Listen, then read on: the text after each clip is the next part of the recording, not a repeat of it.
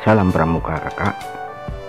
Dalam kesempatan ini Aku Pramuka Indonesia Akan membahas tentang materi Tanda pengenal seragam Pramuka Penggalang. Sebelum kita masuk ke materinya Mimin mau mengingatkan untuk kakak yang belum subscribe agar subscribe channel aku Pramuka Indonesia.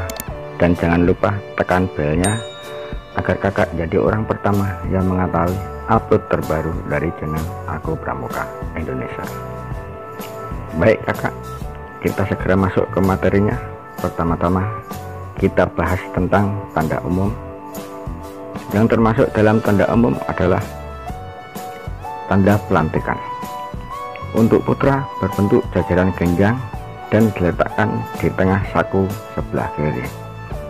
Sedang untuk putri berbentuk lingkaran dan diletakkan di ujung kerah baju sebelah kiri. Tanda wusem untuk putra berbentuk kotak persegi dan penempatan di baju sebelah kanan, tepatnya di atas papan nama, dan untuk putri berbentuk lingkaran dan diletakkan di kerah baju sebelah kanan. Setangan leher untuk putra dan putri bentuk dan penempatan sama tanda topi. Untuk putra berbentuk kotak dan berwarna merah penempatan di baret sebelah kiri.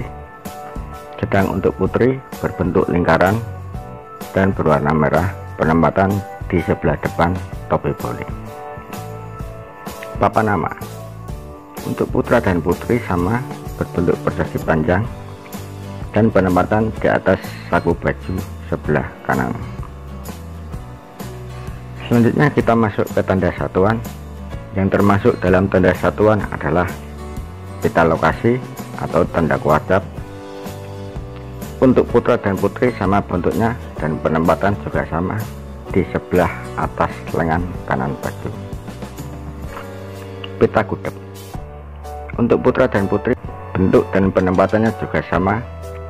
Di lengan baju sebelah kanan di bawah pita lokasi atau tanda kuadrat yang berbeda adalah nomor kudep yang tertera untuk putra ganjil dan untuk yang putri genap.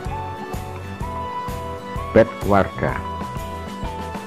Untuk putra dan putri bentuk dan penempatannya juga sama di lengan baju sebelah kanan tepatnya di bawah pita kudep. Tanda regu. Bentuk dan penempatan sama untuk putra dan putri berbentuk persegi dan penempatan di lengan baju sebelah kiri atas. Untuk putra bergambar binatang dan untuk putri bergambar bunga. Kemudian kita masuk ke tanda penghargaan. Yang termasuk dalam tanda penghargaan adalah tanda kecakapan umum. Di Penggalang, tanda kecakapan umum ada tiga tingkatan, yaitu Penggalang Rakit, Ramu, dan Tetap. Untuk putra dan putri, bentuk dan penempatan sama, yaitu di lengan baju sebelah kiri, tepatnya di bawah tanda regu, dan yang kita contohkan di sini TKU Penggalang Terap. Tanda ketakapan khusus dalam penggalang TKK ada tiga tingkatan yaitu Purwa, Madya, dan Utama.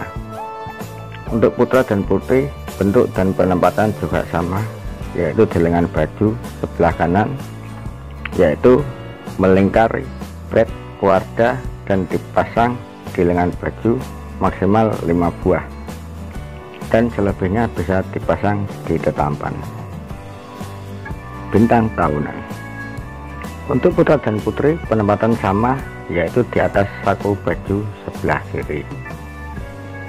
Anda ikut serta kegiatan.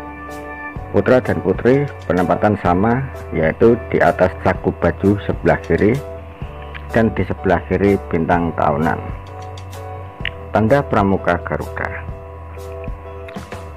Jika semua syarat sudah terpenuhi dan penggalang juga sudah menyelesaikan syarat Pramuka Garuda, penggalang berhak mendapatkan tanda Pramuka Garuda yang berbentuk pita dan medali dipakai untuk seragam upacara. Dalam upacara besar maksudnya sedang tanda pramuka harian dipasang di atas bintang tahunan dan testa di seragam harian. Berikutnya tanda jabatan. Yang termasuk tanda jabatan untuk penggalang adalah tanda pratama tanda pemimpin regu dan tanda wakil pemimpin regu yang kita contohkan di sini tanda pemimpin regu. Penempatan di tengah saku sebelah kanan. Nah kira-kira seperti itu materi tentang tanda pengenal seragam pramuka penggalang. Jangan lupa jika kakak suka videonya monggo di like subscribe share dan dikasih komentar. Semoga videonya bermanfaat. Terima kasih salam pramuka